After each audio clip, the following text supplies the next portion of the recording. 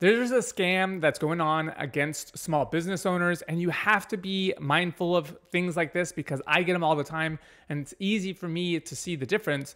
But someone who's new or maybe might not know, they could be get taken for. So without further ado, I received this uh, email from a uh, Brian Collins, an IP attorney, and they told me that I have to send them attorney fees of $200 and a government fee of a $350.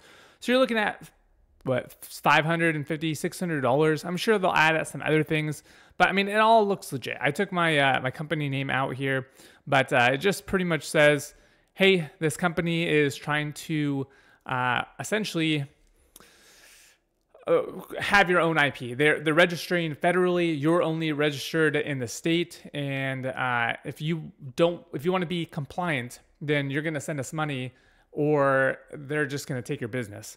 And that's not how things work. So uh, these people are dumb, but I want to show go over some of the things I would be mindful of. So I mean, their website looks legit. I mean, it looks like a your basic website. I mean, very very standard. As you can see, this one has all sorts of uh, trademark services, trademark mon- monitoring, and it's just a way to steal money from you. And they won't do anything for you. It's a completely fake site. If we go to and check out their web performance, lawofficesnj.us, you can see that is a completely new website. Uh, no engagement, nothing, no traffic, no bouncing, no nothing. So if it's a real law office, they're going to have more than just, uh, you know, a month's worth of traffic or anything. They're going to have a, some kind of trail, and they don't. If we uh, check their website and type in site, we can see probably nothing's even uh, indexed on the Google machine. So we definitely know it's just a built site that is uh, meant to steal your money. And so as you can see, I'm using a uh, short code or I don't know what they're called, but it's to see if they are actually indexed on the Google machine and they're not. So this is definitely a scam. Be careful.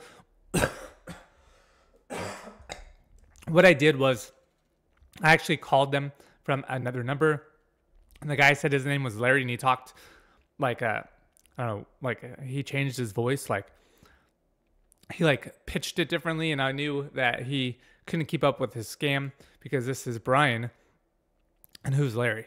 And uh, I'm just thinking that I should warn everyone that is a small business owner because uh, you know no one likes to get taken advantage of.